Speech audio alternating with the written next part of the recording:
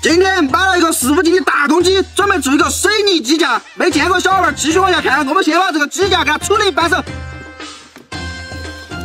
鸡架剔成这个样粉就差不多了，剩下的鸡肉我们还可以做个白斩鸡。先把这个鸡架给它压一半熟，现在给它腌一半熟，姜来一半熟，洋葱来一半熟，小米椒来一半熟，黄酒来一半熟，秘制腌料来一半熟，葱来一半熟，把这调料给它抹匀，腌制半天，八色板。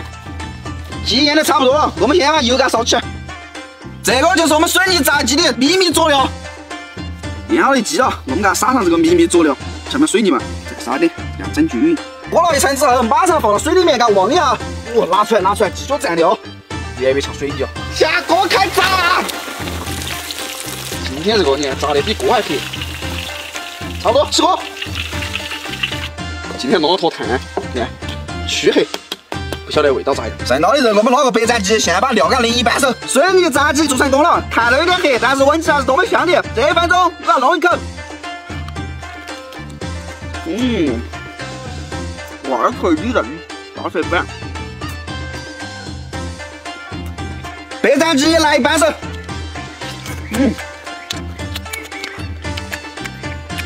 学于老师的方法做的白斩鸡，味道果然不一样。嗯，味道相当不错。关键到这，我做一个技术总结：小伙伴们一定要把这种可食用的方法来炸，这个不是工地上的水泥哦，小伙伴们记牢了。